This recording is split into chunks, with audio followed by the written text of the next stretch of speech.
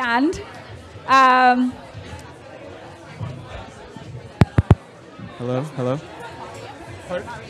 Maryam? Where? yeah, she's. Uh, she's. She, oh, she's over there. Ah.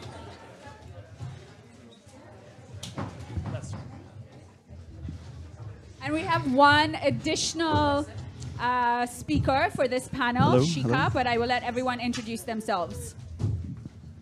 Hello? Is this on? Hello? Can people hear me? Okay. All right, all right, all right. Okay. Um, very excited for the panel today after a wonder, wonderful day. Here to learn, my name is Anthony McGuire. I work at Neustreet. We're building a media and data brand around cultural assets. That means things like NFTs, sneakers, Pokemon cards.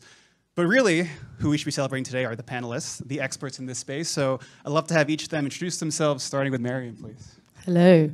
Thanks, Anthony.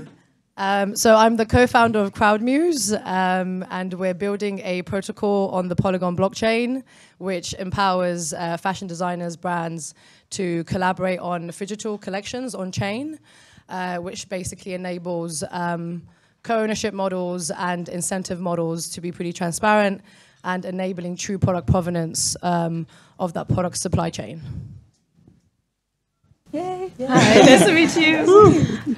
I'm Pauline. I'm the co-founder of Unik Labs, and we are building a fashion and lifestyle metaverse for digital identity creation. So we allow everyone to create their own digital identity beyond avatars.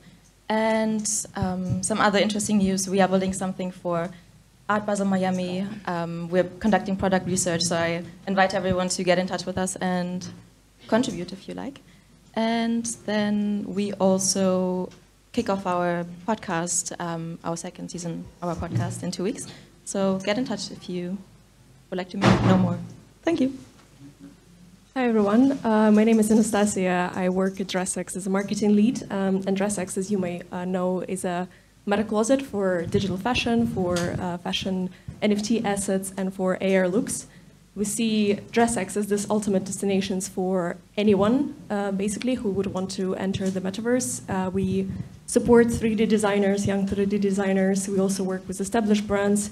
We work with big companies like um, Farfetch, Google, uh, recently Coca-Cola. So um, yeah, basically enabling anyone who wants to um, join the metaverse and thrive there. Hi, I'm the new panelist. My name is Shika. I'm the founder of Front Row, which is a rental platform. So we specialize in renting out designer clothing and accessories. So everything from Elie Saab to Chanel to Ralph and Russo. We are looking to expand into this space and incorporate some digitizing of our pieces and looking into applications in which people can rent things physically in the physical world and in the meta world. Great. Now, I'd love to start off by talking about the topic of uh, digital identity, which has come up many times today, because I think digital identity also is really an analog for digital desire, which also leads to digital commerce, right?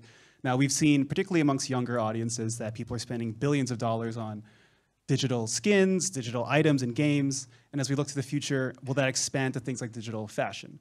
Now, for us personally, I'm sure we all have our own perspectives on what digital identity means to us. Does that have a desire? What do we want to build? What do we want to buy in the digital space?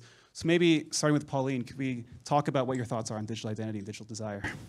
Sure.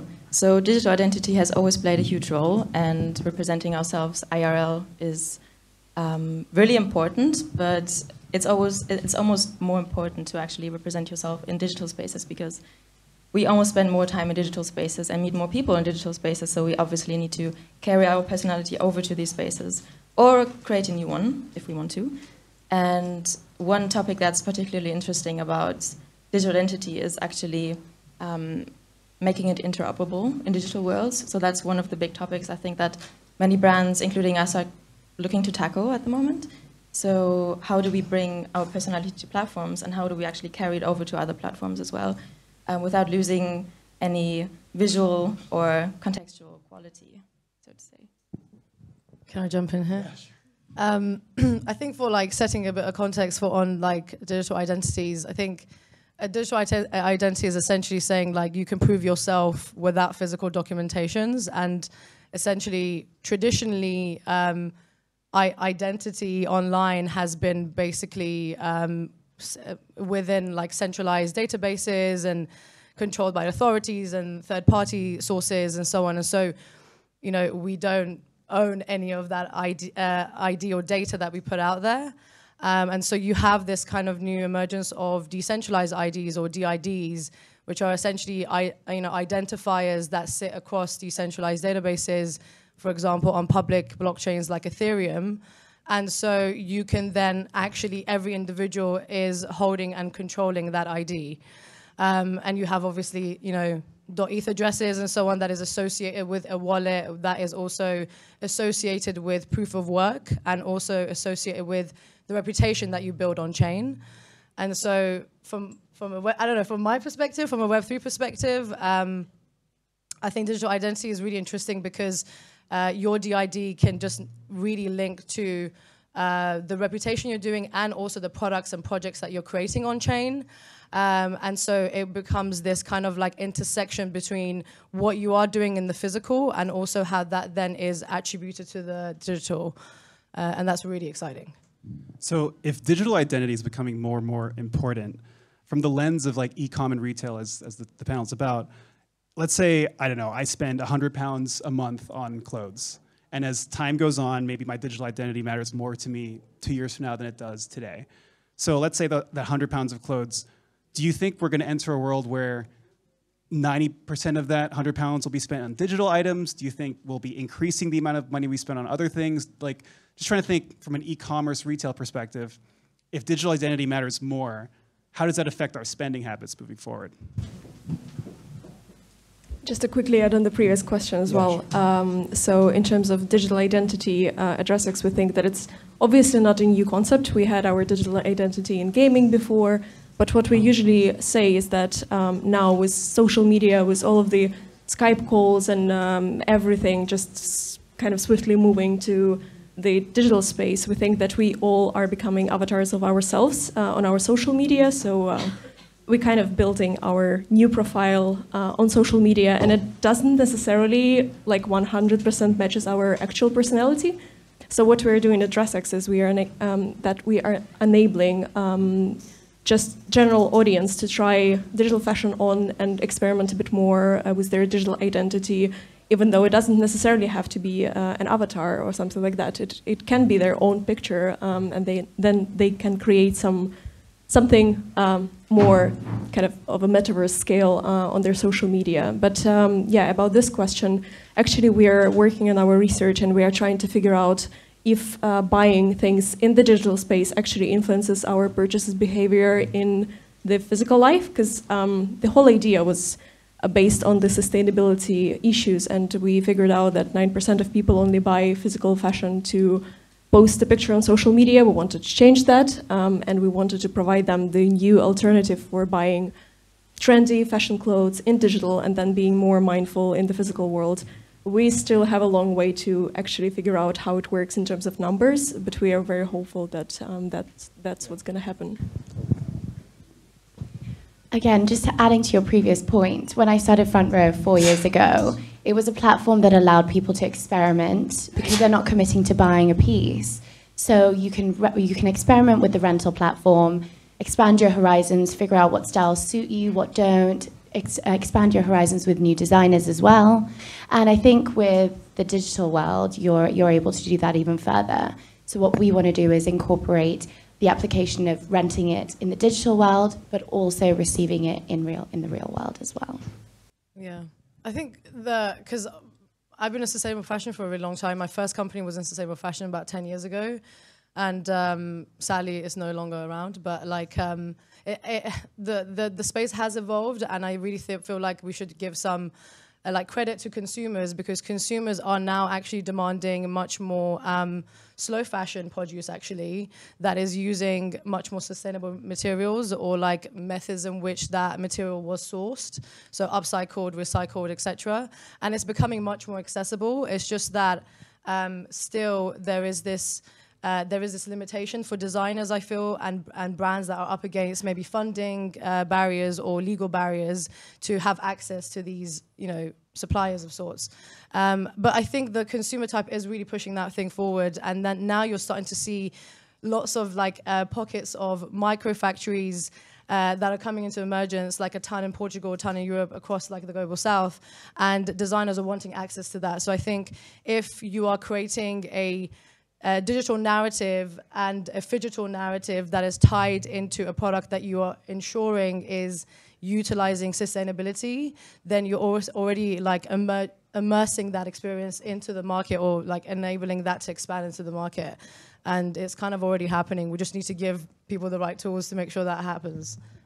Sustainability is something that I feel everybody here has been talking about throughout the day, and each of your companies has some level of focus on. Now, I'm thinking to myself, uh, what are the advantages, the disadvantages, and if a company isn't valuing sustainability, is that a business disadvantage for them? So how, from your perspective, how has it been a focus for each of your companies, and is there a downside when a company doesn't focus on it as much? Okay, I can go. So in terms of sustainability, I think that's a huge downside if your company doesn't um, really do anything of that sort at all, like doesn't address problems that exist, because there's enough research that shows that consumers are looking for that. Now, if the actual buying decision is influenced by that, I think that's another story, oftentimes, because research also showed that there's actually a difference between what consumers say versus what they do, because of how you want to be perceived, and um, you don't want to look like you don't care about sustainability, meaning you don't care about the planet. Um, but so for ourselves, in terms of sustainability, what we're trying to do is obviously we're digital natives, so um, we don't have any physical products just yet. Um, but we are looking at sustainability also from a people perspective. So we're trying to build for a really wide audience and try to make it accessible for as many people as possible so that um, all types of user groups of different abilities are actually included in the process and can use the platform that we're building. I was on the DressX website earlier, and I saw in bold letters, DressX is, is carbon neutral. I don't know if you wrote that personally, but I had imagined that that's something that the company wants to be proud of and put at the forefront. And then I think talked about using Flow blockchain. How, how has that been part of the decision making of the company? And I guess for everybody else's company as well, but starting off with DressX. Yeah, as I mentioned, basically um, the main idea behind DressX was actually um, the sustainability issue of the fashion industry and how we can kind of um, modernize it and how we can allow people to have uh, an alternative for their uh, sometimes toxic uh, fashion and purchase decisions and behaviors. Um, we've been, it's, it's so um, connected to kind of every step DressX is taking because um, we launched our, we keep on launching our uh, uh, sustainability research every half a year. Uh, we usually send questionnaires to our um, users just to understand how actually buying uh, digital fashion affects their purchasing behaviors. As Pauline mentioned, um, it's not um, usually what they actually do, but we are really trying to kind of see the numbers behind it and understand if it actually uh, affects their decisions. We launched our NFT platform in February with Ethereum, but now we incorporated Polygon as well because we want to be uh, more sustainable. We are uh, working with Carbon Flow and uh, yeah, basically even every designer that is getting 3D designer that is getting onboarded uh, on DressX, when they uh, fulfill their first questionnaire about their collection and they tell us kind of what was the idea behind it, they also need to fill all of the details about their um, technology, about their laptops, about uh, the network they're using, just so we can also count basically all of the um, sustainability impact DressX produces as a company, because for us it's, it's really important to be transparent here and understand what we can do to, uh, to make it better. And I think, um, yeah, any company, basically no company can now exist without um, actually thinking about that. I think sustainability is a core part of any business today because COVID gave rise to the conscious consumer. And we started, I started Front Row four years ago. I will be honest, I don't think sustainability was the main motivation for a lot of our customers coming to us. It came down to our curation um, because people can get an Elie Saab dress for a fraction of the price and, and without the commitment. I think, honestly, the rental model came under a lot of scrutiny last year because though we market ourselves as being sustainable, they're so operationally heavy. You've got the dry cleaning, you've got the carbon emissions from the logistics. So I think it was a process of educating customers on the rental side of things. But I think if we can incorporate the digital side and aspect and do that in a sustainable way, we're going to be making leaps and bounds. Yeah, um, it's an interesting one because like I went to the um, Future Fashion um, Expo, Future Fabrics um, Expo in London a couple of months ago, and um, and it's funny because in Web three there's like you know we, we say like GM regens or whatever, and uh, and then I was like I thought I was only asked a lot that talk about regenerative, and then I went in there and I was like oh all these guys are also saying regenerative fashion now, and before it was sustainable fashion, um, and really that's an interesting concept because if you look at consumer model types, um, they've you know there's there's like the sustainable model type and then there's now the regenerative. And the regenerative is basically saying um, ensure that not only the creators or the makers brands whatever suppliers and also the community the buyers are actually um, re- uh, getting regenerative incentives from the purchase of that physical product that is redeemable via via an NFT.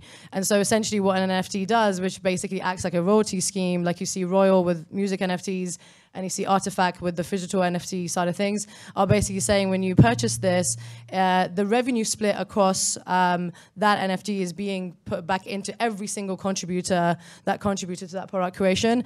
And that's regenerative right and uh, um, once that incentive becomes very clear and it becomes very visible um, that's when it starts making some of the models for a lot of protocols a lot of like you know other platforms uh, much more interesting and then it also brings a lot of you know buyers in so th- that's the I guess to answer your question, um, I guess the regenerative model is the way we see this working to ensure that we're working with sustainable materials, but ensuring that there is a co-ownership. And obviously, Patagonia just came out the other day saying, you know, what they're trying to do is essentially they're not giving the company away. They're basically saying that we want to ensure that every single employee, every single community member is a part owner into Patagonia, and that's, that's fucking awesome. and, and, that's the kind of thing that makes you want to buy Patagonia versus another brand, right? So it's not just like a cool thing, but it would make my purchase decision influenced by that. Uh, now, I think also about a topic, if we're going to see a world where more and more fashion brands are coming out, digital, digital, physical, whatever you want to call it, uh, that's going to be a lot of new fashion brands, which is great. Now, this topic I hear a lot being talked about is, is interoperability. Now, it sounds like a boring word, but really the way I try to boil it down is like, where do you buy something and where do you wear it, right? Traditionally, I'd buy something from a store, or maybe online, and I'd wear it on the street. Maybe I'd flex it on Instagram. But as time goes on, if I'm minting NFTs, I'm wearing them using AR filters. If I'm going to different metaverse experiences online, um, wearing them in very specific contexts, it can be kind of confusing, and I don't know if I can wear everything where I want it to be. So this topic of interoperability boiled down to where to buy and where to wear. Does anybody have thoughts on how that will evolve like five years from now? Yeah, so we actually have quite a few ideas on how this could evolve and where it can lead us. And the most exciting thing that we envision is that you buy something digital, like maybe an AR piece of clothing, and um, sorry, I would say a VR piece of clothing for your digital avatar, and you buy it somewhere and you just take it to whatever platform you want it, and you just you can use it everywhere. Obviously there are some concerns when it comes to the visual quality of different platforms. So we're actually looking to create some sort of interoperability between platforms that actually allow for the quality that digital fashion requires. Um, looking at, for example, some pieces of DressX, you don't want to see them in Sandbox, for sure. Um, I mean, could be, but like... I agree. it, it takes away from the quality and it just makes it less of a fashionable aspect, I would say. And so we are building, or we're looking to build like a um, community of um, platforms um, that come up with like a standard that is followed in order to be interoperable. And we're actually working with a big technology company that um, works in that space. So we're going to come up with something in that space soon. And um, we invite everyone to also like check our socials because there's going to be something coming. Um, but yeah, like making it interoperable so that what you actually buy you can use. Mm. Because why why would you buy something if you can't use it in different places? Yeah, you wouldn't buy a T-shirt that you can only wear to one event exactly once yeah. a month. Yeah. So. yeah. Or, or you could, right? yes, if you have. Maybe you want to. Yeah, if you have the resources. It's getting kind of complicated, right? So, uh, Anastasiia, what do you like that? Yeah, yeah. Um, so basically, when we launched the DressX app, uh, that was our main intention, and we called the DressX app DressX Meta Closet, just because uh, what we are building uh, is we are trying to provide users the same experience as they have with their physical wardrobe. Uh, whenever you buy the piece and you can um, basically wear it wherever you want or uh, not wear it or keep it in your closet or whatever. Um, so whenever you buy something on DressX, um, you are getting this ability to wear it in AR. You can dress your own photo in it and depending on the uh, for example, NFT item that you are buying. Sometimes you can also take it to Decentraland, to Roblox. Uh, we are partnering with lots of different fashion platforms to actually um, enable this this closet, uh, meta closet experience for people. Because um, unless you can reuse the asset, um, it's not really that valuable. Um, so yeah, that's that's basically our main um, thing that we're trying to develop over the next year or couple of years. I mean, on uh, the interoperability stuff is quite it's quite vast, it's quite broad as well because um, for, um, well, interoperability. I, when you first asked that question, I thought you were talking about chains, like um, like a multi-chain approach, but like uh, which is also an issue because that still needs to be interoperable. Um, and what I mean by that is. Uh, You have an array of different blockchains, and you want to make sure that that NFT can travel across these blockchains and can be minted across block um, across blockchains uh, or protocols. Um, and I guess from our from our experience, because we're what was I saying before? The we're the phygital layer to your meta- metaverse layer. What was that? Oh, to your gravity layer. Um, sorry, inside joke. Why did I say that? Uh, but essentially, because we're looking at it from the phygital perspective, um, we're trying to ensure that um, we're working with digital designers that are, you know, essentially trying to get their avatars or the, the creation of their outfits within multiverses to also ensure that maybe some of those collections can also be redeemable in the physical well in a physical sense via this kind of um, via this experience. And and um, uh, a good example is is AVATA obviously is launching their product um, the black t-shirt drop on the 22nd of October which will be happening on CrowdMuse and it's saying you know it's got a storyline behind the you know interoperability of the the the brand itself across multiverses that they're working with and also the digital experience that it could come with. So that's pretty sick Uh, you know, when I when I got on this panel, I was worried that I wouldn't have enough questions, but now we're running out of time, and I have like 20 more. So I'm gonna close with this question, kind of open ended, and it starts with an observation that I've met. I haven't met everybody today, but I've met a, a good amount of people. A lot of people say that they're here to learn, and you know, we've heard from different people at, at schools who've spoken, talking about different collectives, people creating educational courses. Now, uh, maybe starting with you, Shika, I'd love to know to learn if i was a young designer right now 16 years old a creative an artist uh, anyone who wants to get involved in this sort of broad digital fashion world that we're talking about today what would be your message to them and also maybe what's missing from an education perspective I will put both my hands up. I mentioned earlier that I, I didn't realize, I didn't think I had a place on this panel because we are looking to learn. And actually, I've learned so much from, from all of you sitting here, and there's a long way to go with Front Row. I think it is overwhelming, and I just wish there were, there were more uh, events like this or more ways in which you could immerse yourself. I was very lucky, Ashumi crossed my path through Front Row. Um, but I do wish that there was just a little bit more awareness. I know last year when people, you know, there was that huge NFT run. I just don't think, and then of course people may may not have been as confident. I definitely invested, lost a lot of money. I've lost my sentiment, but it's hard to get back on the bandwagon. And I think just meeting, networking as much as you can, immersing yourself in these experiences. There's a long way to go, and I think exactly what we've done at Front Row, we're educating people and just trying to help as many people as possible. Actually, Maryam, at the end of this chat, I need to have a conversation. oh, yeah let's Some do it let's do it let's do it opportunities. Yeah i love maybe just closing thoughts on that topic or any broadly as we go maybe each the last people right now Yeah, it was actually really interesting to listen to people on the previous panel. Um, uh, specifically, Steffi uh, mentioned that there are some courses that uh, universities are launching right now for digital fashion education, which is really helpful. Um, it's actually really interesting that there are lots of resources available right now on the internet uh, that can help people to learn. And actually, as a platform, we usually also learn from the creators because um, the space evolves so fast that you can kind of uh, learn from people who are hands-on uh, experiencing the whole thing and, and can bring their perspective to us. Um, so we are kind of very close to our creators and we are always trying to give them a word.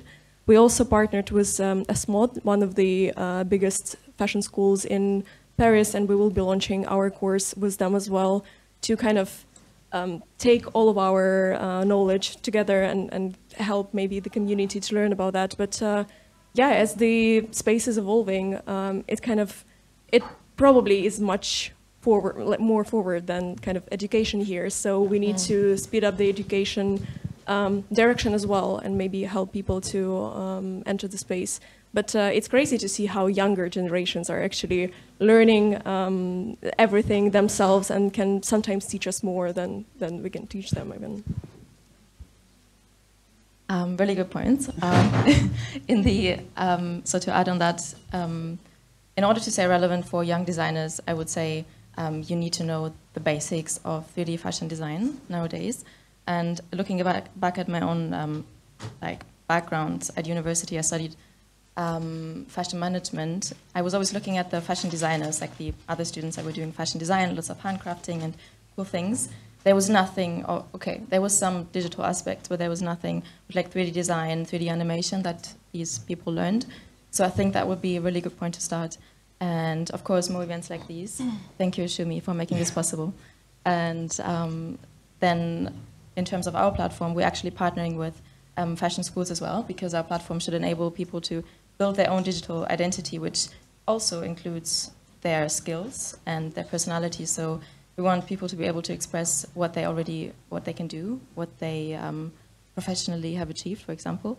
And yeah, we want to make it easier for digital fashion designers to join the space by partnering with fashion. And last word. I'll just do some quick shilling for other people's projects because I think there's like multiple like different things going on and like it really depends on what your interest is and I think like you do have Web3. Web3 is really massive. So like decide where it is that you're interested in. I think like from a DAO perspective, you can just join any DAO, Red DAO, ArtSec DAO, our DAO, in order to contribute to a certain like goal that you believe in and the community that you want to be amongst, and and also just build and do cool projects. Like you got Slow Crypto over there, like shout out Tom, doing his thing over there. Like that's fucking awesome. That's ba- we're basically coding that shit in. I know, I know. Like get your ETH uh, wallet addresses in there and do that because that's pretty awesome.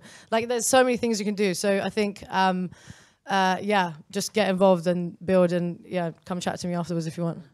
Thank you very much, everyone.